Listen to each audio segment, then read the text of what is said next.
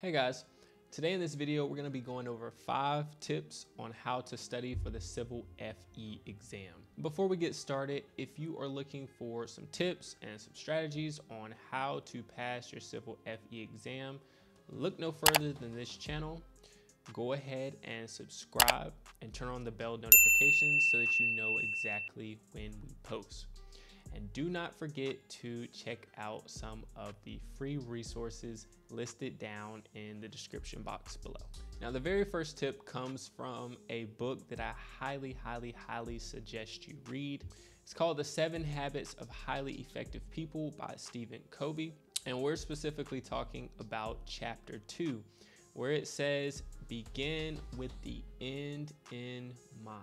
Before you get started doing anything, think about what you want the result to be. The FE exam makes it very, very clear for us what we need to be studying. We need to look at the specifications before we start. Now, you can find these specifications in your NCEES reference handbook that is on the NCEES website.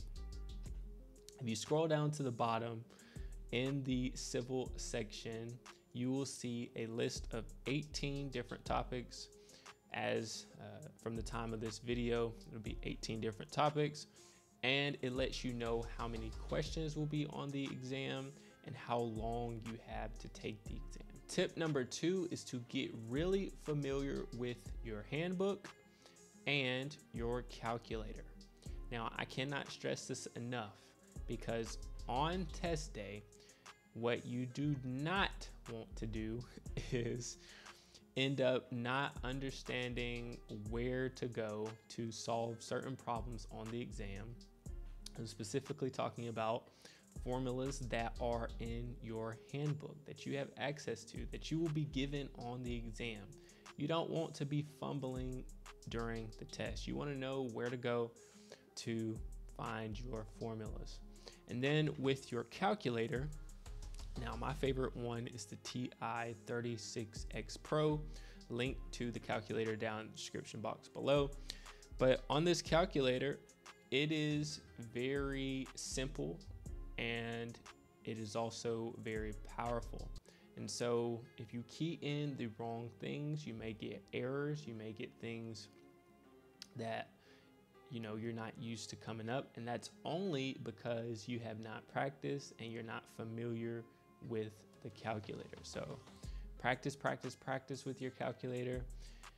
Input numbers with your calculator. Do tons of practice problems. Do a practice test. Like do a ton on your calculator so that when it's time to take the exam, there are no surprises. Tip number three is to get a good grasp on concepts that will be tested on the Civil FE. When you understand concepts, you do not have to memorize solutions. So what does memorizing a solution look like? Well, sometimes when you do practice problems, you begin to see problems that are similar. So you will say, okay, if I'm given this type of problem, then I know to do this for step one, this for step two, this for step three, this for step four, and I'll get the answer that the question is asking. This is not the way to go about it. So on a test, they can ask one question in a hundred different ways. What I mean by this is if there is a formula that you're supposed to be using, they may give you one variable and ask for you to solve for a different variable or they may flip it around and give you a totally different variable and tell you to solve for something else. So you have to understand what information they give to you and what information that they're asking for. And from there, you can then use formulas to solve for the unknown. If you're looking to get a good grasp on concepts, as well as get a ton of practice and practice quizzes with clear solutions. Feel free to check out a complete study guide that I have created that is ultimately a self-study guide that will allow you to have all of the concepts mastered by the end of the guide. So you want to check that out, be sure to do so by heading down to the description box below and looking for complete FE self-study guide. Tip number four on how to study for your civil FE is to do a ton of practice problems. And I know I have said this probably not once, but twice, but this is really, really important. You really want to be exposed to so many different problems to where you're not really thrown off, right? You master the concepts, and the concepts will play off of each other. So no matter how many different ways they ask you to solve a problem, you know the concepts, so you will be able to get the right answer. And so, the more practice that you do, the more confident that you will begin to get. Important that you do at least five practice problems for each subtopic. And hey, if you've made it this far in the video and you're enjoying this content, do not go anywhere because I have some bonuses at the end. All right, so tip number five, do two practice exams.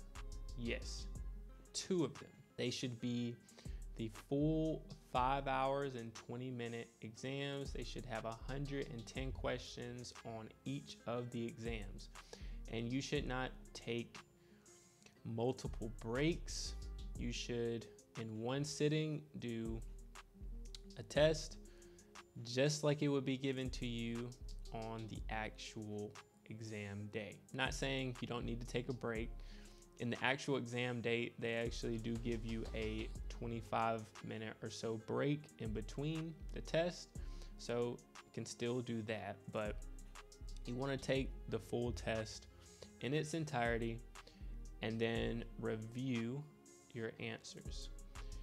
This is really going to help you because it's going to prepare you for the actual exam.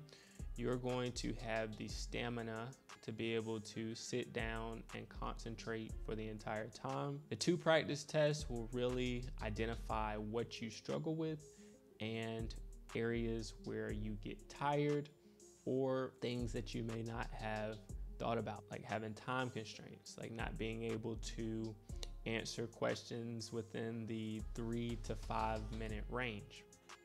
So taking two full tests is gonna be crucial for you.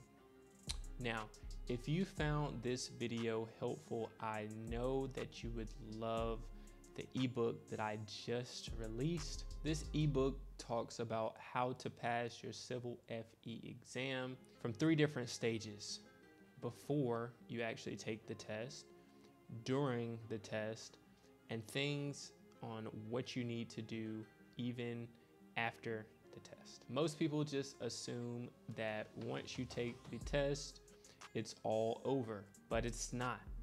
For some people, they don't pass, so they have to go through all of this material and all this information over again, and that can be really discouraging something that I had to face. So I have written about that and how to go about handling that frustration. Or you may have passed the test and you think that you're done, but there are things like letters of recommendation and other important paperwork that you will need to fill out in order to get that official EI behind your name. So feel free to check out that ebook using the links down in the description box below. So now that you have some tips on how to study for your civil FE exam, in the next video, we're gonna be talking about what the civil FE exam is like on test day. So if you found this video helpful, don't forget to hit the subscribe button turn on those bell notifications, and do not forget to check out some of those free resources linked down in the description box below. Thank you all so much for watching this video, and I will see you all in the next video. Peace.